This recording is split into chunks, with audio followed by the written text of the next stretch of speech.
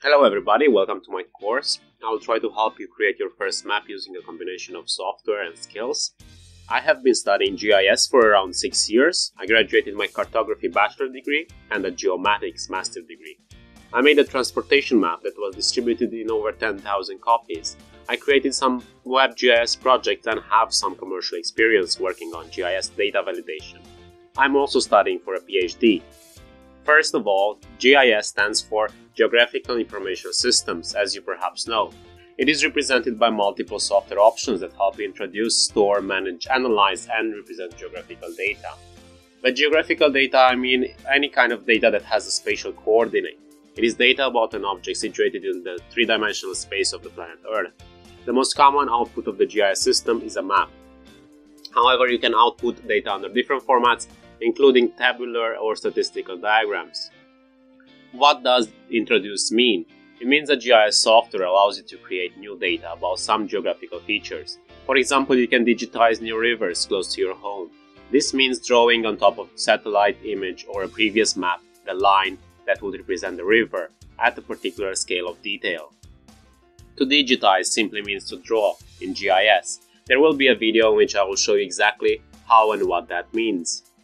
The most important thing about GIS is the data it uses. Without the spatial dimension of the data, GIS would simply be like any other software that uses tabular data. And by tabular I mean any data that can be represented in an Excel spreadsheet. We will open Excel spreadsheets and see how we can make the data have a spatial dimension. GIS is able to store the data in a number of different formats, from shapefiles, KML, DWG, and database specific formats, and many others. Storing the data in a database is safer and better, however at the beginning we will store them in the less safe format called shapefile. I will teach you how you can create these types of files in QGIS. It is also possible to analyze the data by applying various functions to it in GIS. The management aspect of GIS allows you to create new data and modify or delete previously created data. Finally, it is possible to represent the data on a map and I will show you how to combine a GIS software with a free graphic design software called Inkscape to make an enhanced map. Hopefully you can create a great map that you can get money for. GIS can be used in a wide range of domains, from commercial fields like marketing, for example showing the position of a restaurant in a city on a small presentation leaflet, or making a WebGIS app that shows the location of multiple restaurants in your area.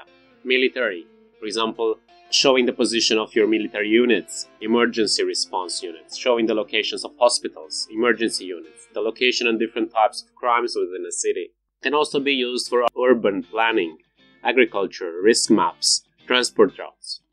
One of the best known use of a GIS is Google Maps, that uses a combination of images and vector layers to help you navigate through a city interactively.